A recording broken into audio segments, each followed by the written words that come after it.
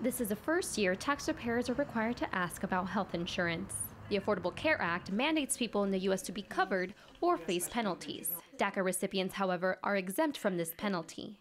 Um, students that have DACA um, under the are not allowed to get coverage under the Affordable Care Act. Um, and if you look at either the the Affordable Care Act website or the IRS website, it's very clear that the penalty, the tax penalty, um, it doesn't apply to DACA.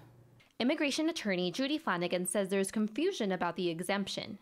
DACA recipient Samira Benitez was led to believe by her tax preparer that she would have to pay a penalty for not having insurance. My tax prep told me that DACAs had to pay a penalty because in 2014 a new law had came in and we fell under that category, so DACAs had to pay a penalty for not having any health coverage. Tax preparer Eva Beltran says reading that IRS language makes it pretty clear. If you are a citizen or resident, you must have health insurance.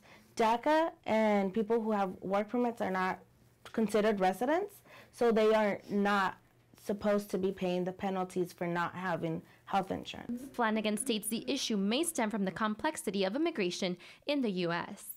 Well, I think part of the problem is that immigration law is a bit complicated, and there are a number of different um, groups of immigrants that are sort of surprising that um, you would think wouldn't have to apply under the Affordable Care Act that do, and others that simply don't qualify.